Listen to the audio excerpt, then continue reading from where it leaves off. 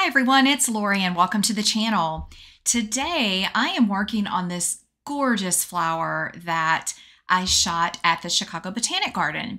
And this is the before. So these gardenias were blooming, but they were way up high and it was in a greenhouse where there is that clear glass that just reflects all the light. And it was a pretty gray day, but it was just filled with this white kind of ugly light. And so I wanted to save this image. I just love the swirls of the flower and I can just smell it when I look at it.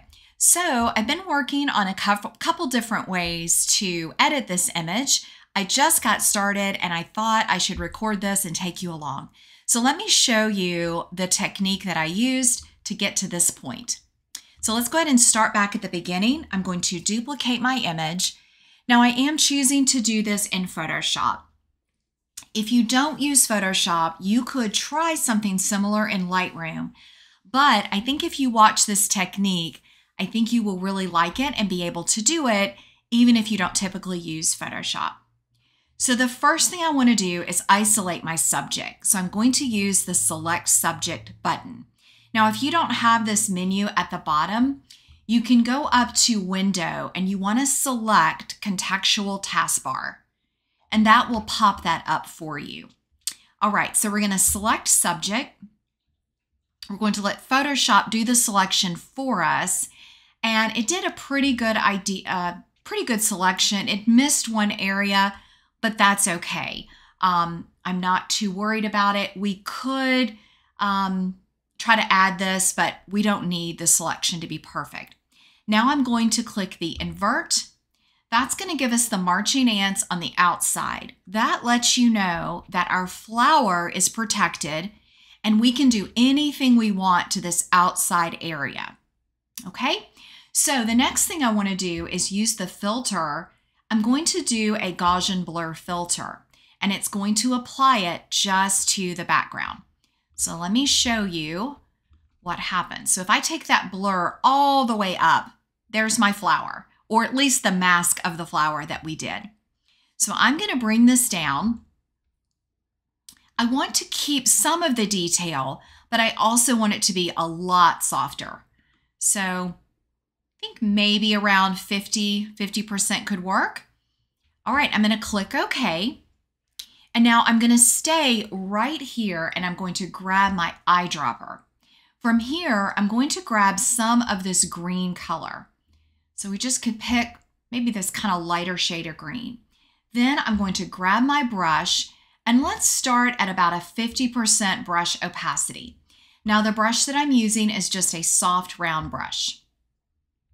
All right, and again, let's start at maybe about 50%. I'm gonna enlarge my brush. I like to work with a really large soft brush. And now I'm just using my trackpad to come around and just add some of that green color. Now, if you think it's too bright, you can lower down your opacity. And again, I'm just gonna pop this in to blend and bring a little bit more cohesiveness to the background. So I'm just popping this all around. And what's great is it's not going to apply it to our flower. So that's the beauty of using this technique of selecting your subject. I'm gonna get those corners where they're a little bright and these dark spots. Now, if you keep your opacity low, you can just click multiple times to get it darker where you want it. Again, I wanna darken those corners a little bit. I'm gonna come down right here. Now, what I like to do, and I think it's a trick that I've learned over the years, is I don't want to just use this one color. We want it to look really natural. So what I'm going to do is use the eyedropper. I'm actually going to select our flower color because if we were, you know, I truly shot this out in the natural habitat, there were multiple blooms all over this flower. So what we're going to do is add some of that color that we would have seen um, out there in the garden. I'm going to keep that opacity low, but I'm just going to pop in a little bit of that color. So just kind of blending it all together. Now you could also use lighter shades that are in your background. Um, you know, any anything that you really want to add, you could. We can also come back in and pick this really lighter kind of sage color of green. Grab our brush. I'm going to lower the opacity even further. And you can just kind of, in these darker areas, pop in some of that. You're really building your own, I'm going to get in here to this center with it. You're really building and creating your own background and your own texture. Now where this is dark, I just want to kind of pop in some of that. Now, once you feel really good with what you have, you can do Command or Control and the letter D. Oh, I hit the wrong key. Command or Control D to get rid of your marching ants. And now you can see where your image stands. Now, the next thing that I do is I want to reduce the opacity on this layer just a little bit. Maybe take it to 80. That's going to bring back the detail in our original image. So let's look at it before. Look how harsh that background was. It just did not enhance this flower. And now it's right here. Now there may be some areas that need a mask because your, your selection of your flower was a little harsh. So what you can do is add a mask. We are going to use a black brush. I'm going to take the opacity up to maybe, maybe 70%. Make this brush really small. And I'm just going to come in. Yeah, that's not going to work. So let's flip it. So this is a case where what we may want to do is add a little blur on these edges, but we can also just use the clone tool. So let's go ahead and do a stamped layer, Command Option Shift and the letter E. And then with that new layer, see if I can get that to work. There we go. There's our new layer. I am going to use the clone tool. And what we want to do, I'm going to have to click the option key to get it to select.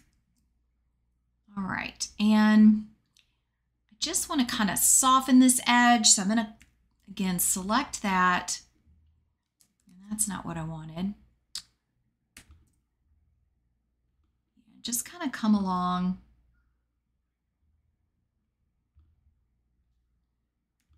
And this is where you just start kind of a little bit of cleanup if you need to around the edges. Now, probably what I would also do, this edge is a little bit harsh, so I am just going to select right here next to it. And then I'm just going to come along. Let me zoom up for you guys.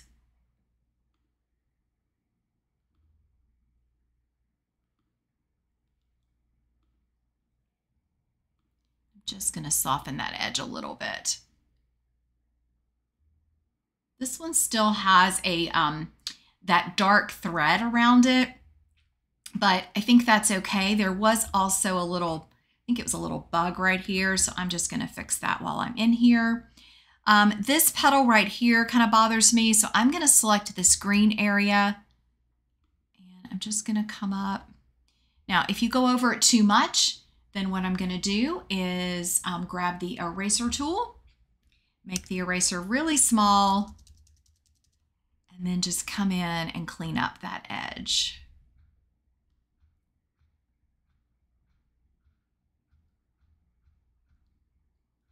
It's kind of got a shadow there.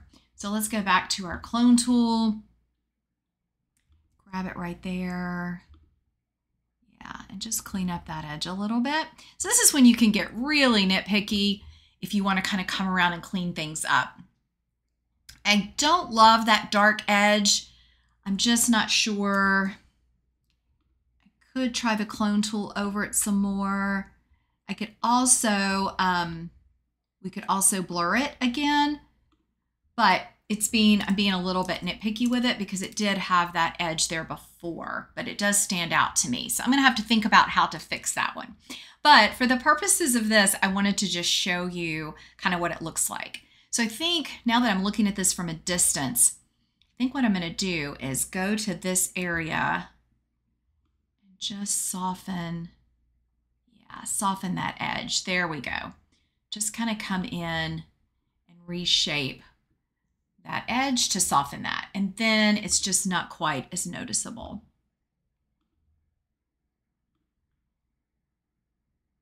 Yeah, I think that's better. So the purpose of this video was just to show you one way that I go about working on the background to make some improvements with it.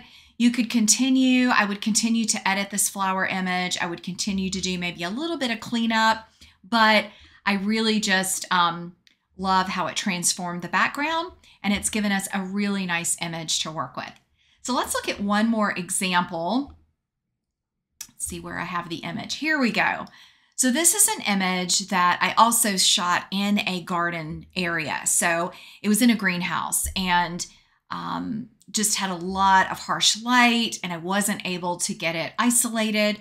So we've got some cleanup to do on this image. The first thing I want to do is I am still going to go ahead and let's select our subject and see how well Photoshop does. Okay, it did a good job, but it did select our stem. So I'm going to come up and grab the quick selection tool and do the subtract. I want to remove that stem. There we go. Okay, now we've got this selected. Um, so we've got our flower selected, which is great. Now I'm going to invert and I want to go ahead and the first thing I want to do is use the remove tool and I want to remove this stem.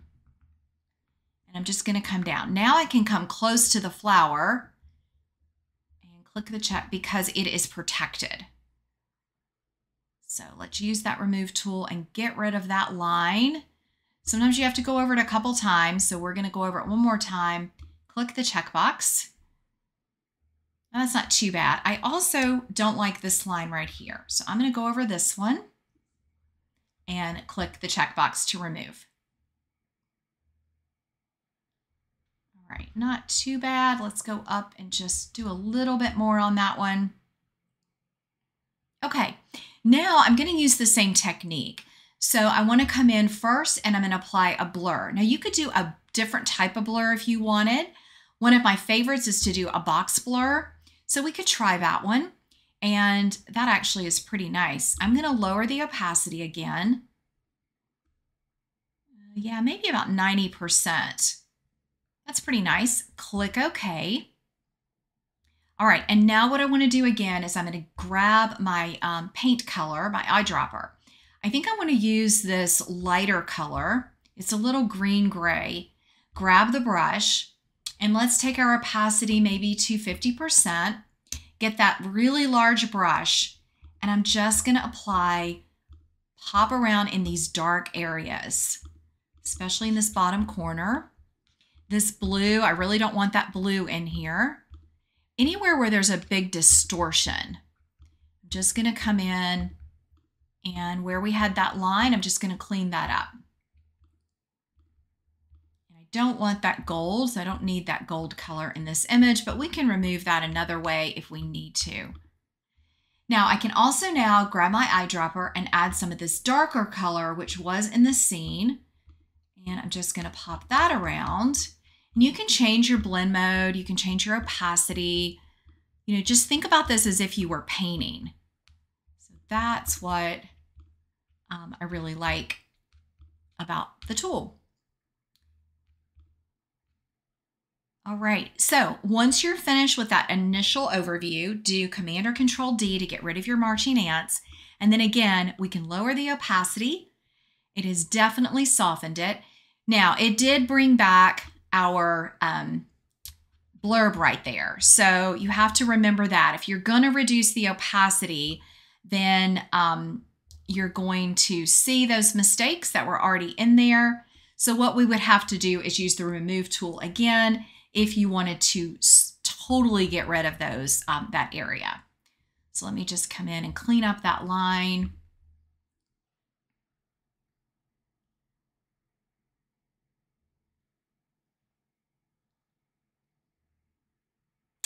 And you know what? We need to duplicate that layer so that we can be at 100% and um, get that cleaned up.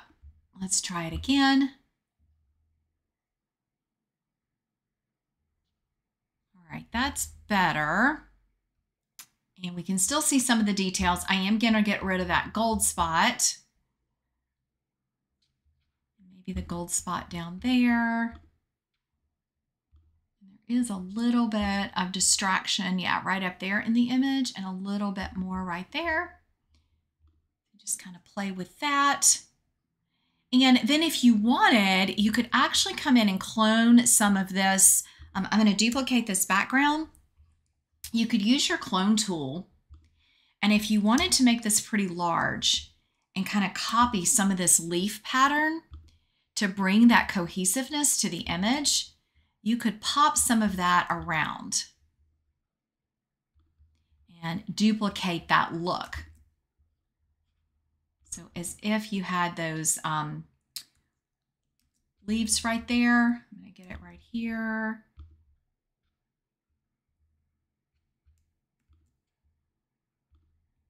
There you go. So just adding some of those around. Um, and then as we duplicate that, we could bring that down to this corner. So you just want to go around and make the image look really, um, you know, uniform, consistent. I think I'd like some of this lighter color over here as well. So just kind of continuing to um, work on blending it. And I also think this leaf needs to just kind of come off the page. So I'm just going to bring that down. And so you could just continue, and then maybe you even want to pop some of um, this white color. You could grab your eyedropper, select this color, grab your brush and continue to maybe pop some of that in here, especially if you think it's gotten a little, a little too dark and you want to add, add some of that around the image for some detail. So several ways, that's kind of before that last round of adding some things to it. I think right here is fine. I definitely on this layer would correct that, um, this leaf right here. So it probably definitely clone this. I don't like when things just, you know, they stop abruptly. So I would definitely kind of bring that down. But I think this is probably the image that I like the best. And you can see before how, how kind of messy and distracting it is from our flower. And now we've got it really um, cohesive, the lines, the color, and then we can begin to edit our flower image if there's things we want to do to it. So I hope you enjoyed looking at two different examples of really working on your background to remove those distracting elements and just help you create a really stunning, gorgeous flower image. Thanks for watching, everybody.